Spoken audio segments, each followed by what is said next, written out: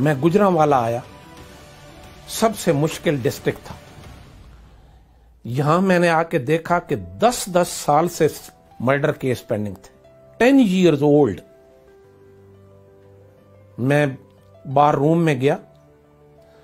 मैंने वकील साहबान से गुजारिश की कि मेरी एक आपके मुतालबात भी मैंने सुने हैं, अब मेरे मुतालबात भी आप सुने। कि मर्डर केस का ट्रायल कमेंस होकर सिर्फ़ तीन सूरतों में एडजर्मेंट होगी अगर एक दफ़ा कमेंस हो गया है ट्रायल शुरू हो गया, सिर्फ़ तीन एडजर्मेंट्स होगी तीन वजह से। नंबर वन कि on the date fixed session जज मर जाए। अगर सेशन जज मर गया तो फिर ड्यूटी जज एडजर्न कर देगा। या ऑन द डेट फिक्स्ड वकील साहब मर जाए। तो नया वकील करने के लिए केस एडजर्न होगा या ऑन द डेट फिक्स्ड, वो मुलजिम मर जाए तो मुलजिम के मरने की मौत की तस्दीक के लिए केस एडजर्न होगा। ये तीन मौतों के अलावा केस एडजर्न नहीं होगा। उसका नतीजा क्या हुआ? नतीजा ये हुआ कि 12 महीनों के अंदर 600 मुकदमा कत्ल फैसला हो गया। गुजरावाला में। गुजरावाला में एसएसपी जो थे ना, वो सुखेरा साहब थे, जो यहाँ आईजी पंजाब रहे। पंजाब के आईजी रहे हैं ना, ये उस वक्त वहाँ एसएसपी थे। मैंने इन टेलीफोन किया सुखेरा साहब को। मैंने कहा, जी किसी बड़े हाल में तमाम ज़िले के एसएचओ बुलाएँ, तमाम डीएसपी बुलाएँ। मैंने मीटिंग करनी है, मैं और मेरे जज आएँगे हम आपसे मीटिंग करेंगे। उन्होंने अरेंजमेंट किया और हमने डेट मुकर की और मैं चला गया। मैंने उनको एड्रेस किया, उनके एसएसपी और उनके कमांडर की मौजूदगी में। मैंने कहा, डायरियाँ निकालो और लिखो कि समन और वारंट अगेंस्ट पीडब्ल्यू गवाह का हो या मुलजिम का हो। आपने तीन रिपोर्टें करनी प्रोसेस सर्व करने का, तीन रिपोर्टें।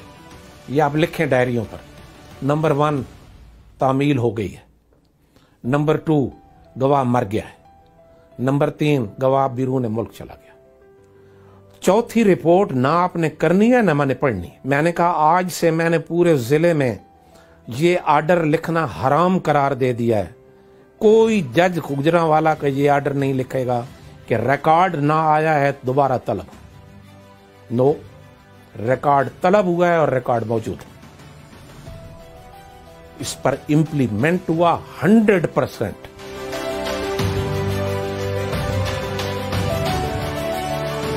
the judicial system is not at fault the judicial system is not operational. The judicial system on the ground is not functional. आज इसको ऑन ग्राउंड ऑपरेशनल कर दें और फंक्शनल कर दें बाई बुक जाएँ, अदालतें खत्म हो जाए ये केसेस खत्म हो जाए फिर वकीलों को कहना पड़ेगा लोगों के बंदे मारो, जज फारग। सिस्टम को मैं इसलिए मेरी बात को वज़न दिया जाए, इसलिए मेरी बात को इम्पोर्टेंस अटैच की जाए कि मैं कोई ड्राइंग रूम का दानश्वर नहीं हूँ, मैं कोई कागज़ी दानश्वर नहीं हूँ, मैं फ़ील्ड का आदमी हूँ, जिसको तकरीबन निसफ सदी इस प्रोफेशन में हो गई है। अमलन प्रैक्टिकल करके आया हूँ। लिहाजा प्रैक्टिकल ये है कि किताब को ब्लेम ना करो, बुक को ब्लेम ना करो, book is not at fault. ये आज फंक्शनल और ऑपरेशनल करो, इस निज़ाम को डिजायर्ड रिज़ल्ट आ जाएँगे। बिल्कुल आ जाएँगे, कोई मसला ही नहीं। है ले मैन ये समझता है ले मैन को पता नहीं है, वो बेचारा ये समझता है कि ये जो मेरा दस साल मर्डर केस फैसला नहीं हुआ, ये शायद निज़ाम खराब है। नो नो नो निज़ाम खराब नहीं।